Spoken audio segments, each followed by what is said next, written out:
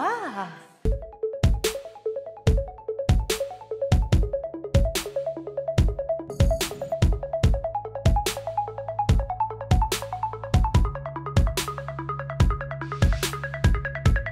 The Biosphere Reserve um, means to both develop our local culture, our local companies, but do it in a sustainable way. So it is in a way a, a pilot area to test sustainable models and sustainable ideas.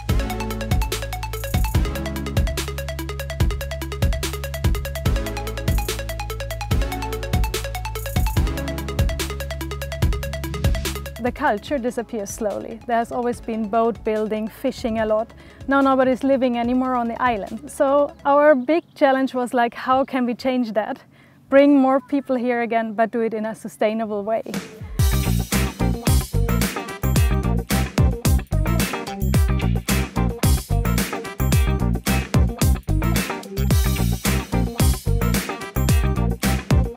The thought was, okay, we just create different paths so we have a hiking path, a bike path along the whole coast. Um, we have sailing path also to get a sustainable boat traffic and we have a kayaking path.